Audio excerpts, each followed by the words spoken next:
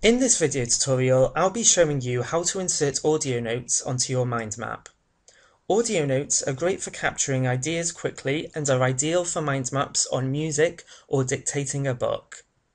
In order to insert an audio note onto your mind map, firstly select a branch that you wish to add the audio note to.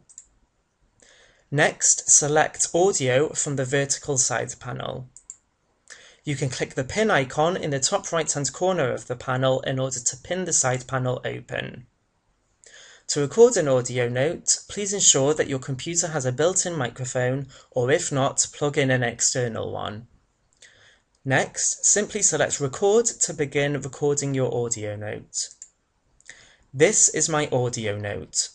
When you have finished recording, simply select the Stop button. The audio note will then appear here underneath the record button.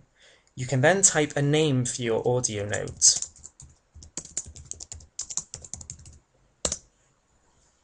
You can add more than one audio note onto a branch by simply selecting the record button again, recording your audio note, and selecting stop.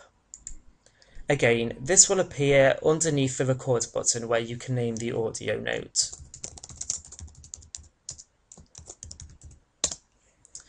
You can play back your audio notes by selecting the play buttons or delete the audio note by selecting the trash can icon.